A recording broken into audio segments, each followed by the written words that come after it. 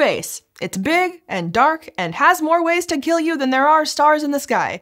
Or at least that's what science fiction might have you believe, even if you ignore all the ones caused by aliens. Now, don't get me wrong, space is certainly deadly, and there are some pretty extreme causes of death that would fit right in in some sci fi plot. They're just not always the ones you might expect. So let's look at six ways we've seen fake space kill, and then unpack the real ways it might kill you instead.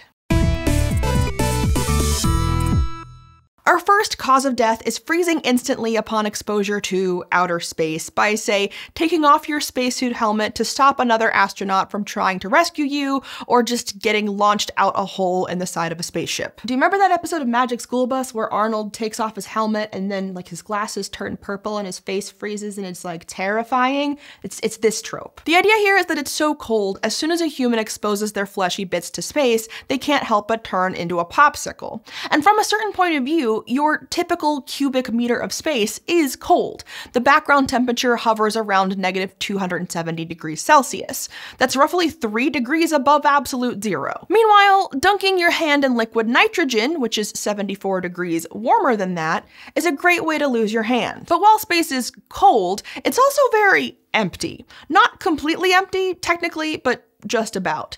And that emptiness means that it's a terrible conduit for heat. There are three ways to transfer heat. There's convection, where particles take heat with them as they move from hot to cold conduction, where heat transfers through particles in close proximity, and radiation, where particles emit and absorb energy. But there aren't enough atoms in space to help with the first two, so the only way to transfer heat in space is radiation. And with only radiation, if you were jettisoned naked out of a spaceship airlock, you'd basically shed heat like a 50 watt incandescent light bulb. At rate of heat transfer, it would take you more than 10 hours to freeze solid, unless you were even slightly close to another radiating body that could keep you warm, like the sun, in which case, you might never freeze. In some movies and TV, death by outer space is a bit more explosive. Take the 1980s space western Outland, for example. I know you've all definitely seen that movie. When a valve gets disconnected from a character's spacesuit, their head puffs up before going pop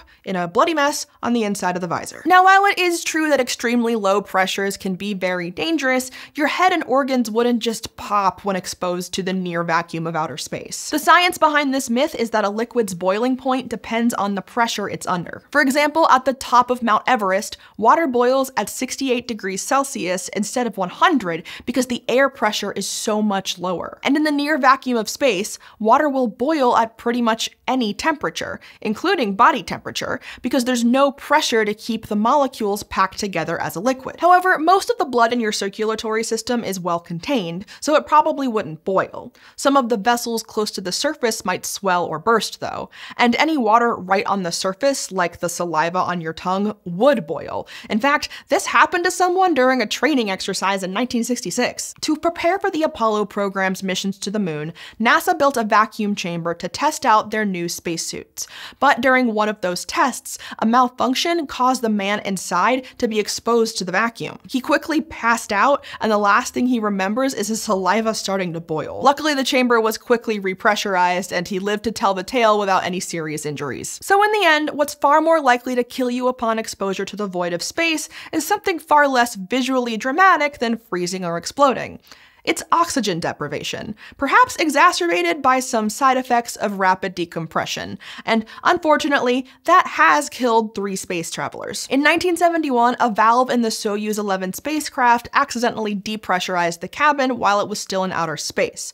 The cosmonauts inside were on their way home from the very first space station, and after the craft landed, the recovery team opened the hatch to find them dead in their seats. It's a unique tragedy in the history of human spaceflight because it's the only time time anyone has officially died in space. So from here on out, any of the ways that space can kill you hasn't happened to anyone. Thankfully, at least not yet. Our third way space kills you, as depicted in science fiction, is by having its characters zip through a dreaded asteroid belt. Asteroid belts are often treated as densely packed mazes of space boulders that are nearly impossible to navigate. There's a certain fictional droid out there that can tell you the odds. But the truth is, the asteroid belt in our solar system is really sparse. According to one astronomy professor writing for Scientific American, the average separation between large asteroids in the belt is about 5 million kilometers, which is more than 10 times the distance between the Earth and the moon. And we have proof that you don't need to be some ace pilot like Han Solo to fly through the asteroid belt. Every space mission we've sent through it has passed without any major issues. But if you do happen to find yourself flying through space, there are three things you should be afraid of instead of the asteroid belt. First up, a proper set of rings, like the ones around Saturn. When viewed with a telescope from home, Saturn looks like it just has the one ring.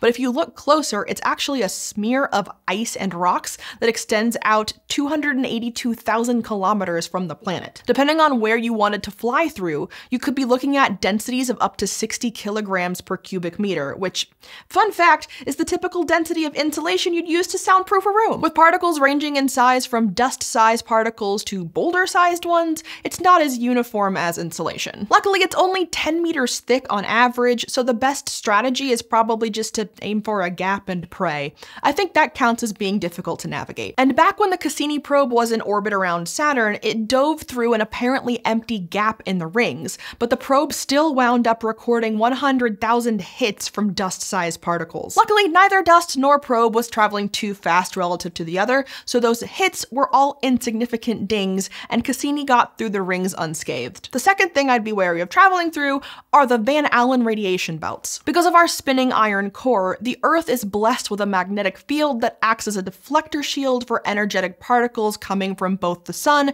and further afield. Energetic particles that can do things like damage human tissues and shut down spacecraft electronics. So that protection is good, but the particles don't just disappear. They get concentrated into two donut-shaped regions roughly 10,000 kilometers and 26,000 kilometers above Earth's surface. That's normally fine until you want to fly through them to get to the moon or Mars or somewhere further. If all you're doing is flying through them, the radiation dose you'd get wouldn't be anywhere near lethal. But you don't want to set up camp there. Meanwhile, Jupiter has its own radiation belts that are much larger and much more powerful. One of its moons, Europa, is smack dab inside one. If you decided to pay the surface a visit and you didn't have proper shielding, you'd absorb a fatal dose within a few hours. And our third and final threat that could kill you as you fly through space is tiny bits of debris. That includes rocky micrometeorites, as well as the stuff we've flung up there over the decades. Remember those Cassini dings? Well, this is kind of the opposite of that. Because of the huge velocities involved in getting stuff into or beyond Earth orbit, even tiny objects can leave big marks. In low Earth orbit, where the International Space Station is, objects are traveling just under 8 kilometers per second, which isn't automatically terrible. Space debris wouldn't be an issue if everything were traveling in the exact same direction. But it's not, if something is traveling in the opposite direction to the ISS, it would hit our space station effectively traveling around 15 kilometers per second. At those velocities, even something the size of a blueberry would be lethal without shielding. Now, before we move on to our next cause of death, we need to keep the lights on, so here's an ad. Thanks to Manufacturing USA's Modern Makers for supporting this SciShow video. As a SciShow viewer, there's a lot you're bound to like about Modern Makers. Like, you're probably passionate about learning, just like the Modern Makers bringing biofabrication knowledge to middle and high school students so they can build their dreams. And you probably love discovering things you didn't think were possible before, like the Modern Makers who helped build the first 3D printed rocket. And you probably want to improve the world, like the Modern Makers who developed software to optimize the recycling of scrap metal. And these are just some of the modern makers who are building a better world as part of their jobs. You can learn more about them, how they got into manufacturing, and exciting manufacturing career pathways you might want to think about by visiting manufacturingusa.com slash modern-makers. Our next cause of death is the sun wiping out civilization, if not life as we know it, with a big, sudden burst of energy like a solar flare. The truth is that our sun has been super active before, producing both solar flares that spew out light and coronal mass ejections that spew out matter, but even the worst solar storms only damage electrical equipment. While this could certainly end your life indirectly, it's not the end of humanity as we know it. What really could kill us is a nearby star reaching the end of its life and exploding. Some supernovas are accompanied by a burst of X-ray and gamma radiation that's so intense it could kill us even if it has to traverse a thousand light years of space to hit us. In fact, back in 2005, a few researchers proposed that some kind of gamma ray burst may have triggered a mass extinction roughly 440 million years ago, not by directly frying critters, but by destroying Earth's protective ozone layer, causing an ice age and creating a bunch of acid rain. Although, luckily for us, when astronomers look for possible supernova threats,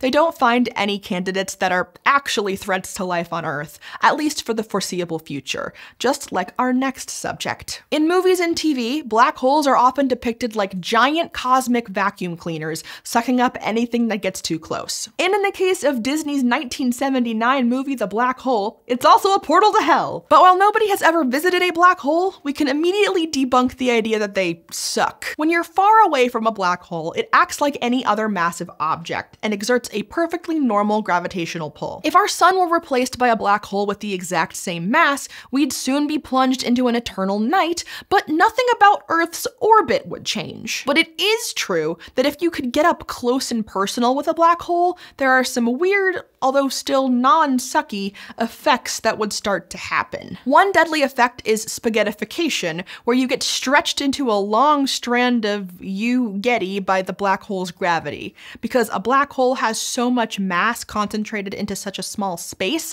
every centimeter of distance away from it means a big difference in gravitational pull. So if your feet were pointing toward the black hole, the pull on your feet would be much stronger than the pull on your head. And as you fall closer toward the black hole, the difference eventually gets so great you get torn into itty bitty pieces in a long drawn out meat string. But before that image inspires any nightmares, you'd probably die long before that from getting smacked by all the superheated matter swirling around in the accretion disk surrounding the black hole. If you're looking for real nightmare fuel, stick around for our final group of space killers. Behold, the destructo waves sweeping across all of space, leaving nothing in their wake. Definitely a technical term. Technically, these are purely hypothetical, but they do exist outside of science fiction. Even books and movies rarely depict them. That's because they're very hard to one, visualize either on screen or in your reader's head, and two, write a plot around because your characters cannot like see them coming, there's nothing they can do to stop them, and death will be pretty much instantaneous. The first of these destructo waves is called a Penrose-Hawking thunderbolt, and it actually starts with a black hole. See, some astrophysicists hypothesize that if a black hole can spin fast enough, it can exist without an event horizon. That's the edge that makes a black hole look like a black hole. Gravity is so strong past that point, nothing can travel fast enough to move anywhere but down towards the infinitely dense singularity at the center. That includes light itself, hence all of the like black. If there were no event horizon, the singularity at the heart of a black hole would be visible, but our laws of physics wouldn't be able to predict what would happen because our equations don't deal very well with infinite density. So the idea behind a thunderbolt is that if a spinning black hole either formed without or lost its event horizon, physics would literally break. And that breakdown would continue to spread through all of three-dimensional space at approximately 300,000 kilometers per second second. The fastest anything can travel through space, including matter, including light, including any signal that a giant wave of broken physics is heading in your direction to obliterate you. But that's not the only way space could kill you with an unpredictable, unpreventable death wave. There's also vacuum decay, and it's a bit tricky to explain this one without getting into the weeds, so bear with me. There's this thing that permeates all of space called the Higgs field. You can kind of think of it as an infinitely big piece of fabric that subatomic particles can roll across and interact with. Those those interactions both give the particles different amounts of mass and also wrinkle the fabric itself, giving the Higgs field different values throughout space. So in a vacuum where there are supposedly no particles and no mass, the value of the Higgs field is zero, the lowest number it can possibly be. But maybe that's not true. Maybe we just think the Higgs field is sitting at zero. Maybe it's really what's called a local minimum. Like instead of a ball stuck at the bottom of a hill, it's sitting in a little divot in the ground a few meters up the side of that hill. To dislodge the ball and get it tumbling toward the real bottom of the hill, or a true vacuum state in the universe, all you need is an extreme enough event to jostle it out of its seemingly stable position. In the universe, that jostling could come courtesy of, once again, a black hole doing black hole shenanigans. And if the Higgs field suddenly dropped in value somewhere to a value lower than what we thought possible, that patch of space would experience some pretty serious changes in the fundamental laws of nature, like the strength of the forces that hold atoms together. A bubble of true vacuum would form and expand in all directions at that exact same 300,000 kilometers per second rate I mentioned before. Eventually, everything in the universe would decay, and if that bubble has already formed somewhere, well, we won't know until the moment it destroys us. Maybe that's not the way you'd prefer space kills you, but I don't know, just suddenly ceasing to exist kinda works for me.